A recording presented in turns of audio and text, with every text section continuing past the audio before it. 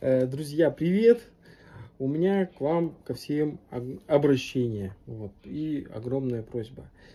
Э, Друзья, не надо обсуждать нас ни в положительном, ни в негативном свете э, в каналах других приютов, либо вообще в каких-либо зоозащитных пабликах, там, аккаунтах.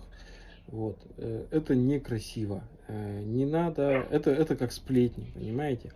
Вот. То есть, если у вас есть какие-то претензии или там вы, у вас какие-то вопросы к нам, пишите в наших каналах, пишите э, об этом в Телеграме, пишите об этом в Ярусе, пишите, я не знаю, там в Одноклассниках, в Дзене.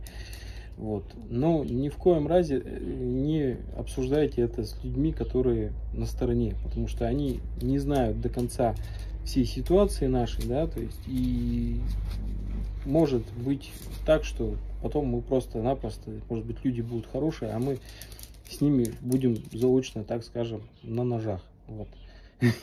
Да, что тут папа рассказывает. Вот. Поэтому не надо собирать сплетни. Если есть претензии, если есть вопросы, я говорю еще раз, пишите в наших, э, на наших площадках, на наших, э, в наших соцсетях.